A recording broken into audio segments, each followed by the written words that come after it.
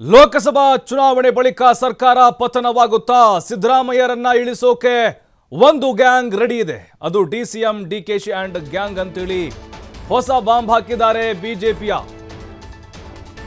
ನಾಯಕರು, ವಿರೋಧ ಪಕ್ಷದ ನಾಯಕರು ಕೂಡ ಹೌದು.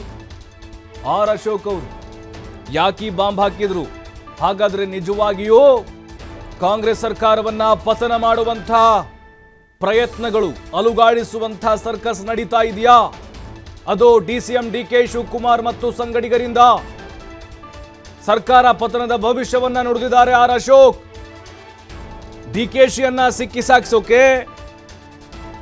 ಸಿದ್ದರಾಮಯ್ಯವರು ಪರಮೇಶ್ವರ್ ಮನೆಯಲ್ಲಿ ಸಭೆ ಮಾಡಿದ್ರು, ಮಹದೇವಪ್ಪನವರು. ಅವತ್ತು ಜಾರಕಿಹೊಳಿ ಕೂಡ ಬಂದಿದ್ರು.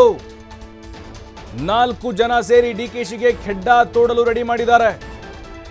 ಮೈತ್ರಿ ಸರ್ಕಾರ ಬೀಳಿಸೋಕೆ ಬೆಳಗಾವಿಯಲ್ಲೇ ಪ್ಲಾನ್ ಆಗಿತ್ತು. ಈಗಲೂ ಕೂಡ ಬೆಳಗಾವಿಯಿಂದ ಸರ್ಕಾರ ಪತನಕ್ಕೆ ಪ್ಲಾನ್ ನಡೀತಾ ಇದೆ. ಅಂದ್ರೆ ಬೆಳಗಾವಿಯಿಂದಲೇ ಬಾಂಬ್ ರೆಡಿ ಆಗ್ತಿದೆ, ಸರ್ಕಾರವನ್ನ ಬ್ಲಾಸ್ಟ್ ಮಾಡಲಿಕ್ಕೆ ಅಂತ ವಿಪಕ್ಷ ನಾಯಕ ಆರ್ ಅಶೋಕ್ ಹೊಸ ಬಾಂಬ್ ಹಾಕಿದ್ದಾರೆ ಈಗ. ಬಿ ಜೆ ಪಿ ನಾಯಕರು ಒಬ್ಬರಲ್ಲ ಒಬ್ಬರು ಹೇಳ್ತಾನೆ ಇದ್ದಾರೆ, ಸರ್ಕಾರ ಲೋಕಸಭೆ ಚುನಾವಣೆ ಆದಮೇಲೆ ಪತನ ಆಗುತ್ತೆ. ಬೇರೆ ಯಾರೂ ಬೇಡ, ಡಿ ಕೆ ಶಿವಕುಮಾರ್ ಅವರು ಮತ್ತೆ ಅದನ್ನು ಕೆಡುತ್ತಾರೆ ಅಂಥೇಳಿ. ಈಗ ಆರ್ ಅಶೋಕ್ ಯಾವ ಹಿನ್ನೆಲೆಯಲ್ಲಿ ಯಾವ ಉದ್ದೇಶದಿಂದ ಈ ಹೇಳಿಕೆಯನ್ನು ಕೊಟ್ಟರು ಅವ್ರಿಗೆ ಅವ್ರದೇ ಆದಂತಹ ಮೂಲಗಳಿಂದ ಮಾಹಿತಿ ಸಿಕ್ಕಿರಬಹುದೇನೋ? ಸರ್ಕಾರ ಗೋವಿಂದ ಅಷ್ಟೇ. ಇನ್ನೇನಾಗ್ತದೆ? ಗೋವಿಂದ ಅಂತ? ಅಷ್ಟೇ. ಗೋವಿಂದ? ಮುಹೂರ್ತ ಅವರೇ ಫಿಕ್ಸ್ ಮಾಡ್ಕೊಂಡಿದ್ದಾರಲ್ಲ ಪಾರ್ಲಿಮೆಂಟ್ ಎಲೆಕ್ಷನ್ ಪಾರ್ಲಿಮೆಂಟ್ ಎಲೆಕ್ಷನ್ ಆದಮೇಲೆ ನನಗನ್ಸುತ್ತೆ ಈ ಸಿದ್ದರಾಮಯ್ಯ ನಿಲ್ಸೋಕೆ ಒಂದು ಗ್ಯಾಂಗ್ ಅವಾಗೆ ರೆಡಿಯಾಗಿ ಸೇರಿದ್ದಾರೆ. D K Shivakumar gang. D K ಶಿವಕುಮಾರ್ನ ಏನಾದರೂ ಮಾಡಿ ಸಿಕ್ಕಾಕ್ಸ್ಬೇಕು ಅಂತೇಳಿ ಪರಮೇಶ್ವರ್ ಮನೆಯಲ್ಲಿ ಸಿದ್ದರಾಮಯ್ಯನವರು, ಮಾದೇವಪ್ಪನವರು, ಆಮೇಲೆ ಜಾರಕಿಹೊಳಿಯವರು ಇವರು ಸೇರಿದ್ದಾರೆ. ಪಕ್ಕದ ಮನೆಯೇ ಡಿ ಕೆ ಶಿವಕುಮಾರ್ದು. ಪಕ್ಕದ ಮನೆ ಇರೋ ಡಿ ಕೆ ಶಿವಕುಮಾರ್ ಅವ್ರನ್ನ ಕರೆದಿಲ್ಲ. ಇಷ್ಟು ನಾಲ್ಕು ಜನ ಸೇರಿ ಡಿ ಕೆ ಶಿವಕುಮಾರ್ಗೆ ಕೆಡ್ಡ ತೋರೋಕ್ಕೆ ರೆಡಿ ಮಾಡ್ಕೊಂಡಿದ್ದಾರೆ. ಅವರಲ್ಲಿ ಒಳ ಜಗಳ ಅದರಲ್ಲೇ ಇದೆ. ಎಂ ಎಲ್ ಎಗಳು ಹೇಳಿದ್ದಾರೆ ಮೊನ್ನೆ ದಾವಣಗೆರೆ ಎಂ ಎಲ್ ಎ ಹೇಳಿದ್ದಾನೆ. ನೀವೇನ ಕೊಟ್ಟಿಲ್ಲ ಅಂದರೆ ಜನವರಿ ಒಳಗಡೆ ನಾನು ರಿಸೈನ್ ಮಾಡ್ತೀನಿ ಅಂತ ಹೇಳಿದ್ದಾರೆ. ಮಂಡ್ಯದಲ್ಲಿ ಒಬ್ಬ ಹೇಳಿದ್ದಾನೆ ಡಿ ಕೆ ಶಿವಕುಮಾರ್ನ ಮುಖ್ಯಮಂತ್ರಿ ಮಾಡಲಿಲ್ಲ ಅಂದ್ರೆ ನೋಡ್ರಿ ನಾವು ಮಾಡೇ ಮಾಡ್ತೀರಿ ಕೆಲವೇ ದಿನಗಳಲ್ಲಿ ಅಂತ ಹೇಳಿದ್ದಾರೆ. ಅವಾಗ ಬೆಳಗಾಮಲ್ಲಿ ದುಬೈಗೆ ಗ್ಯಾಂಗು ಪ- ಪರಾರಿಯಾಗಿದ್ದಾರೆ ದುಬೈಗೆ. ಸಂಪರ್ಕ ಮಾಡ್ತಾ ಇದ್ದಾರೆ ನಾನೇ ಸಂಪರ್ಕ ಮಾಡಲಿ? ಅವರೇ ಬೀಳಿಸ್ತಾರಲ್ಲ. ಈ ಸರ್ಕಾರನ ಓ ಸರಿ ಯಾರು ಬೀಳಿಸಿದ್ದು? ಸರ್ಕಾರ ಬೀಳಿಸಿದ್ದು ಯಾರಪ್ಪ? ಓ ಸರಿ ಬೆಳಗಾವಿಯವರೇ ಬೀಳಿಸಿದ್ದು. ಅಲ್ಲೇ ತಾನೇ ಶುರುವಾಗಿದ್ದು. ಬೆಳಗಾವಿ ಏ ಅಲ್ಲೇ ಶುರುವಾಗಿದೆಯಲ್ಲ ದುಬೈ ಟ್ರೈನ್ ಶುರುವಾಗಿದ್ದು ಧರ್ಮಸ್ಥಳದ ಇದರಲ್ಲಿ ಅಂತ. ಧರ್ಮಸ್ಥಳದ ಆಯುರ್ವೇದಿಕ್ ಆಸ್ಪತ್ರೆಯಲ್ಲಿ. ಹಂಗೇನು ಇಲ್ಲ. ಬೆಳಗಾವಿಯಲ್ಲೇ ಶುರುವಾಗಿದ್ದು. ಏನಕ್ಕೆ ಶುರುವಾಯಿತು ಅಂತ ನಿಮ್ಗೆ ಗೊತ್ತಿದೆ.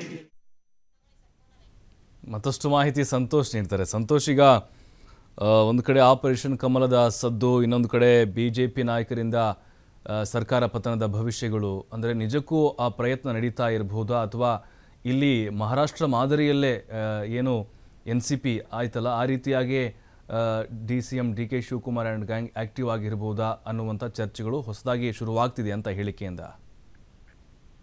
ಪ್ರಭು, ಕಾಂಗ್ರೆಸ್ ಪಳದಲ್ಲಿ ಈಗಾಗಲೇ ಕೂಡ ಸಿಎಂ ಕುರ್ಚಿ ರೇಸ್ ಕೂಡ ಜೋರಾಗಿರ್ತಕ್ಕಂಥ ಸರ್ಕಾರ. ಇನ್ನು ಕೇವಲ ಅಧಿಕಾರಕ್ಕೆ ಬಂದು ಆರು ವರ್ಷ, ಆರು ತಿಂಗಳು ಕಳೆದ್ರೆ ಕೂಡ ಈಗಾಗಲೇ ಕೂಡ ತಮ್ಮ ಏನು ಆಪ್ತ ವಲಯದಲ್ಲಿರ್ತಕ್ಕಂಥ ಡಿ ಕೆ ಶಿವಕುಮಾರ್ ಬಣ ಆಗಿರ್ಬೋದು ಅಥವಾ ಸಿದ್ದರಾಮಯ್ಯ ಅವ್ರ ಬಣ ಆಗಿರ್ಬೋದು, ಜೊತೆಗೆ ರಮೇಶ್, ಸತೀಶ್ ಜಾರಕಿಹೊಳಿ ಅವರ ಬಣ ಆಗಿರ್ಬೋದು, ಮತ್ತೊಂದ್ ಕಡೆ ಪರಮೇಶ್ವರ್ ಬಣ ಆಗಿರೋದು. ಈ ಒಂದು ಬಣಗಳಲ್ಲಿ ಅತಿ ಹೆಚ್ಚಿನದಾಗಿ ಸಿಎಂ ಇವ್ರಾಗ್ಬೇಕು ಇವ್ರಾಗ್ಬೇಕು ಅನ್ನೋ ಒಂದು ಘೋಷಣೆಗಳು ಕೂಡ ಹೋದಂತ ಸಂದರ್ಭದಲ್ಲಿ ಕಾರ್ಯಕ್ರಮಗಳಲ್ಲಿ ಮಳಗ್ತಾ ಇರ್ತಕ್ಕಂಥದ್ದು. ಈ ಒಂದು ವಿಚಾರಕ್ಕೆ ಯಾರು ಮಾತಾಡಬಾರ್ದು ಅಂತೇಳಿ ಈಗಾಗಲೇ ಕೂಡ ಸಿದ್ದರಾಮಯ್ಯನವರು ಮತ್ತೆ D K Shivakumar full stop ಅನ್ನು ಇಟ್ಟಿರ್ತಕ್ಕಂಥದ್ದು. ಆದ್ರೆ ಅದನ್ನ ಒಂದ್ ರೀತಿಯಾಗಿ ಎತ್ತರವನ್ನ ಬಳಸ್ಕೊಂಡಂತಹ ಬಿಜೆಪಿ ಒಂದ್ ರೀತಿಯಾಗಿ ಹೊಸ ಬಾಂಬ್ ಸಿಡಿಸೋ ಒಂದು ಕೆಲಸವನ್ನು ಕೂಡ ವಿಪಕ್ಷ ನಾಯಕ ಅಶೋಕ್ ಅವರು ಮಾಡಿರ್ತಕ್ಕಂಥದ್ದು.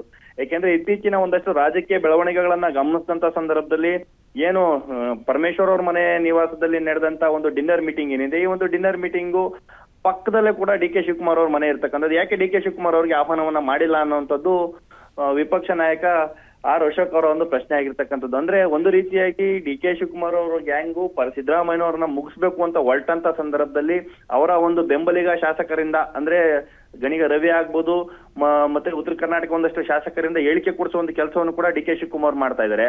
ಹಾಗಾಗಿ ಅದನ್ನ ಕಟ್ಟಾಕುವ ಒಂದು ದೃಷ್ಟಿನಲ್ಲೇ ಕೂಡ ಸಿದ್ದರಾಮಯ್ಯನವರು ಏನು ಐಂದ ಅಸ್ತ್ರವನ್ನ ಬಳಸೋದ್ರ ಮುಖಾಂತರ ಏನೋ ಆ ಒಂದು ಮನೆಯಲ್ಲಿ ಮೀಟಿಂಗ್ ಅನ್ನ ಮಾಡೋದು, ಪರಮೇಶ್ವರ್ ಅವರ ಮನೆಯಲ್ಲಿ ಮೀಟಿಂಗ್ ಮಾಡೋದ್ರ ಜೊತೆಗೆ ಡಿನ್ನರ್ ಅನ್ನ ಮಾಡಿ ಒಂದು ಸಂದೇಶವನ್ನು ಕೂಡ ರವಾನೆ ಮಾಡಿರ್ತದಂತ ಕೇಳಿದಂತ ಸಂದರ್ಭ ಮೇಲ್ನೋಟಕ್ಕೆ ನಾವು ಟಿಫನ್ಗೆ ಹೋಗಿದ್ವಿ, ಊಟಕ್ಕೆ ಬಂದಿದ್ವಿ ಅನ್ನೋ ಒಂದು ಮಾತನ್ನು ಕೂಡ ಹೇಳ್ತಾರೆ.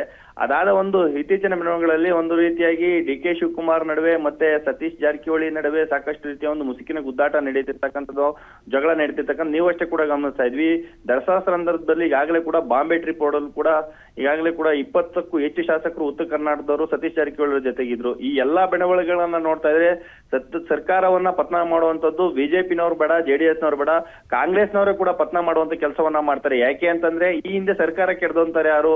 ಸರ್ಕಾರ ಕೆಡವಿದ್ದೆಲ್ಲಿಂದ ಸರ್ಕಾರ ಕೆಡುವ ಒಂದು ಲಕ್ಷಣ ಶುರುವಾಗಿದೆ ಎಲ್ಲಿಂದ ಬೆಳಗಾವಿಯಿಂದ. ಈಗಲೂ ಕೂಡ ಸರ್ಕಾರ ಪತನ ಕೂಡ ಶುರುವಾಗೋದು ಕೂಡ ಬೆಳಗಾವಿ ರಾಜಕಾರಣದಿಂದಲೇ ಅನ್ನೋ ಒಂದು ಸಂದೇಶವನ್ನ ಕೂಡ ಕೊಟ್ಟಿರ್ತಕ್ಕಂಥದ್ದು. ಯಾವಾಗ ಸರ್ಕಾರ ಪತನವಾಗುತ್ತೆ ಒಂದು ಪ್ರಶ್ನೆಯನ್ನು ಕೂಡ ಕೇಳಿದಂತ ಸಂದರ್ಭದಲ್ಲಿ ಆರ್ ಅಶೋಕ್ ಅವರು ತಿಳಿಸಿರ್ತಕ್ಕಂಥದ್ದು ಲೋಕಸಭಾ ಚುನಾವಣೆಯಲ್ಲಿ ಮತ್ತೆ ಕೇಂದ್ರದಲ್ಲಿ ಅಧಿಕಾರವನ್ನು ಕೂಡ ಬಿ ಮೋದಿ ಅವರು ಹಿಡಿತಾರೆ. ರಾಜ್ಯದಲ್ಲಿ ಇಪ್ಪತ್ತೊಂದಕ್ಕೂ ಹೆಚ್ಚಿನ ಸ್ಥಾನಗಳನ್ನ ಕೂಡ ಲೋಕಸಭಾ ಸೀಟ್ನಲ್ಲಿ ಗೆಲ್ತೀವಿ. ಅದಾದ ನಂತರ ಅವರ ಒಂದು ಆಂತರಿಕ ಕಿತ್ತಾಟದಿಂದನೂ ಕೂಡ ಸರ್ಕಾರ ಪತನವಾಗುತ್ತೆ ಅನ್ನೋ ಒಂದು ಮಾಹಿತಿಯನ್ನು ಕೂಡ ಆರ್ ಅವರು ತಿಳಿಸಿರ್ತಕ್ಕಂಥದ್ದು. ಪ್ರಭು.